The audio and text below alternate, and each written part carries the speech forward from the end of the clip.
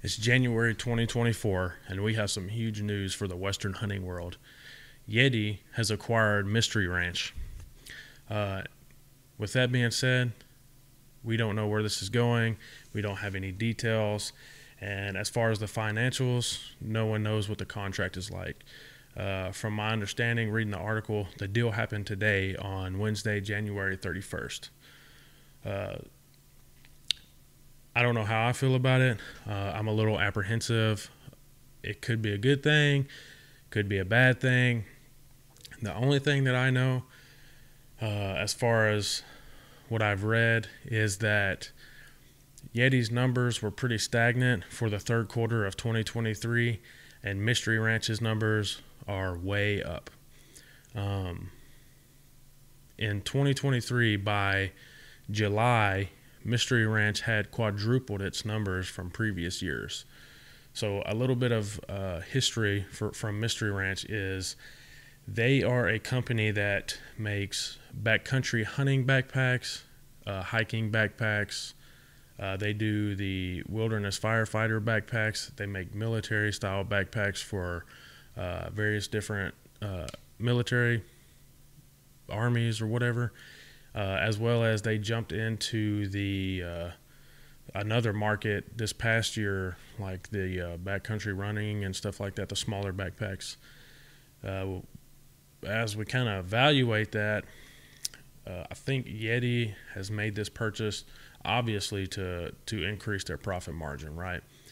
Now, going forward, we don't know what Yeti's going to do with Mystery Ranch, other than in the article it said that basically operations will stay the same. Uh, they'll operate out of Bozeman, Montana, and uh, the people are going to pretty much stay the same for the time being. Um, a quote from the co-founder of Mystery Ranch said.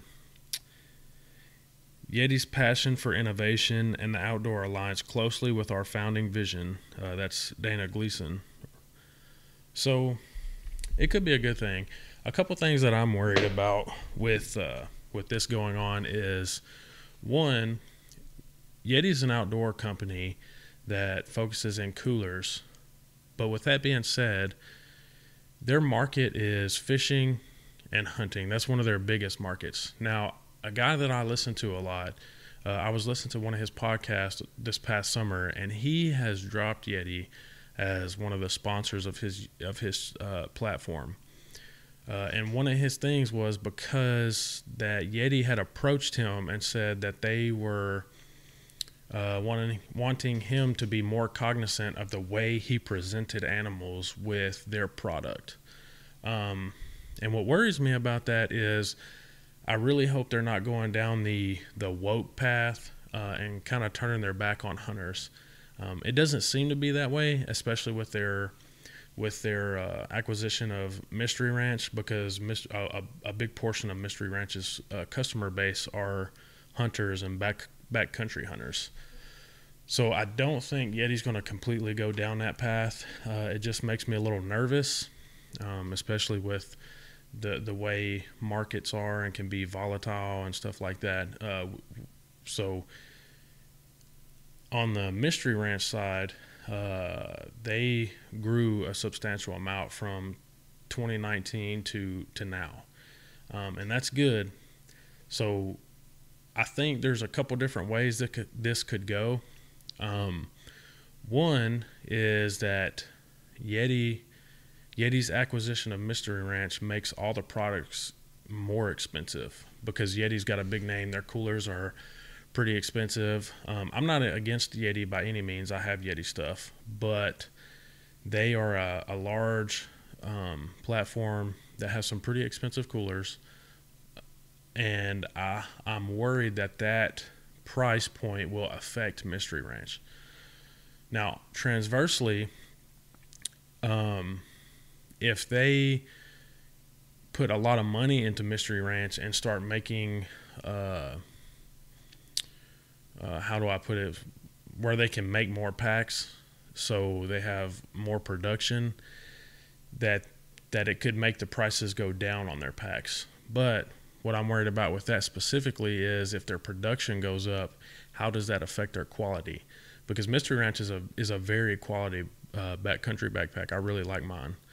So, you know, there's two different avenues there that worry me, but it could all work out and Mystery Ranch could be even better than they are now. They are a great quality product, but who's to say that their quality doesn't go up and they stay the same or become even cheaper, which would be awesome and would be a great win for everybody. Uh, so you guys, um, what what are y'all's takes on this? Uh, y'all leave a comment below. Tell me what you think about this, or if any of you guys have any information, drop it down below, uh, and I might can get that out on YouTube as well. But yeah, that's all the information we have for now. Um, like I said, uh, just a recap: Yeti acquired Mystery Ranch. Uh, Yeti was pretty stagnant in 2023 for the third quarter. They'll report on February 15th their uh, their fourth quarter earnings. Um, with that being said, the acquisition of Mystery Ranch, obviously, they think that they can make a big profit off of Mystery Ranch. Uh, so this merger could be good, could be bad, could be just the same. You know, Mystery Ranch stays the same, Yeti stays the same. They become two entities of one company, uh, which would be great, whatever that is. But yeah, thanks for watching. Uh, big news. Leave a comment, like the video. Appreciate you guys for watching.